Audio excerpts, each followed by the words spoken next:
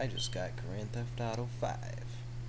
I'm gonna go play it. I've been wanting to play this for a while now, so uh, let's check it out.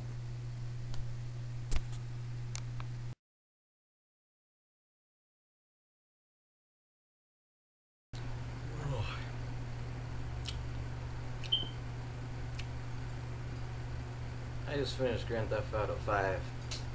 I've been playing it pretty much non-stop since I got it. I gotta say, uh, it's the best Grand Theft Auto I've ever played.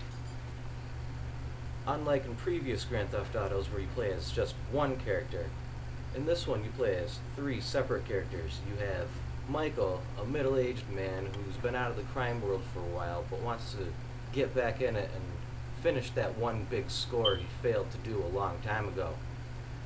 Then there's Franklin, who's a younger guy who's kind of in the crime life but wants to get out of that by making the money to get out of that world.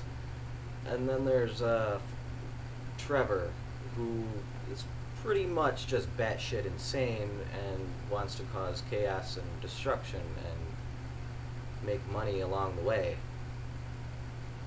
Anyway, uh, I didn't like Grand Theft Auto 4 that much because it was pretty much all in uh, Liberty City, which is like New York. Uh, but I liked Grand Theft Auto 5 because it went back to like San Andreas style, where it was one big city and then a big open countryside.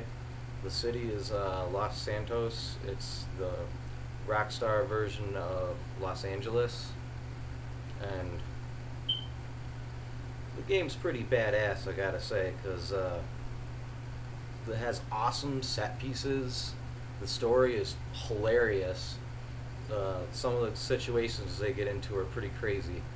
Uh, and uh, remember the rumor from San Andreas where they thought Bigfoot was in the game, like Sasquatch, when he really wasn't?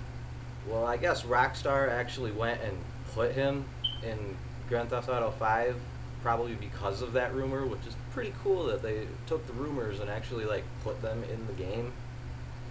Uh, I haven't found him myself, but I've seen videos on the internet where people have found him in a mission, and uh, that's pretty cool that they put him in there. But uh, I highly recommend that anyone that likes that kind of game, this open world, crime shooter, whatever you want to call it, I highly recommend you get Grand Theft Auto 5 because it's an amazing story, awesome graphics, great game. And uh, I'm going to go get a shower now because, and I'm going to shave because I've been playing the game for a while. So, peace.